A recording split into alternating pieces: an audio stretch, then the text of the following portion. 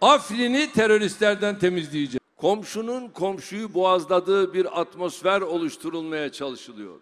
Ve büyükelçiliğimizi ayrıca da orada açacağız. Amerika'yı sert ifadelerle eleştirdi. Kudüs konusunda bir kez daha uyardı. Partisinin ilk kongresinde konuştu Cumhurbaşkanı Tayyip Erdoğan. Olası Afrin operasyonu için net mesajlar verdi. Afrin'i teröristlerden temizleyeceğiz. Münbiç'i teröristlerden temizleyeceğiz. Tel Abyad'ı, Resul Aynı, Kamışlı'yı teröristlerden temizleyeceğiz. Şemdinli'den Yayla Dağı'na kadar tüm sınırlarımızı teröristlerden temizleyeceğiz. Güya müttefikimiz olan birilerinin şımarttığı, kışkırttığı, silahlandırdığı teröristlerin heveslerini bugüne kadar olduğu gibi bundan sonra da inşallah kursaklarında bırakacağız. Amerika'yı bölge barışını bozmakla suçlayan Erdoğan, PKK-PYD'ye yapılan 4000 tırlık silah yardımını hatırlattı.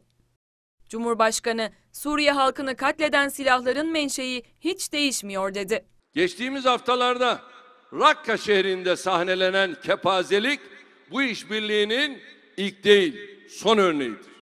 Rakka tiyatrosu DAEŞ ile YPG'nin bir madalyonun iki yüzlü olduğunu artık inkarı mümkün olmayacak şekilde ortaya koymuştur. Ve Kudüs krizi.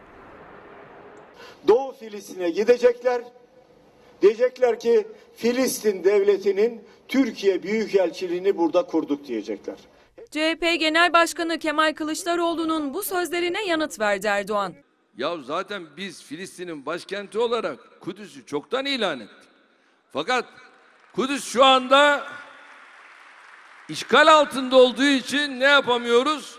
Oraya gidip büyükelçiliğimizi açamıyoruz. Ama bizim şu anda başkonsolosluğumuz bile neyle temsil ediliyor? Büyükelçiyle temsil ediliyor. Fiili olarak biz bu işi yapmışız. Ama inşallah o günde yakın ve büyükelçiliğimizi ayrıca da orada açacağız.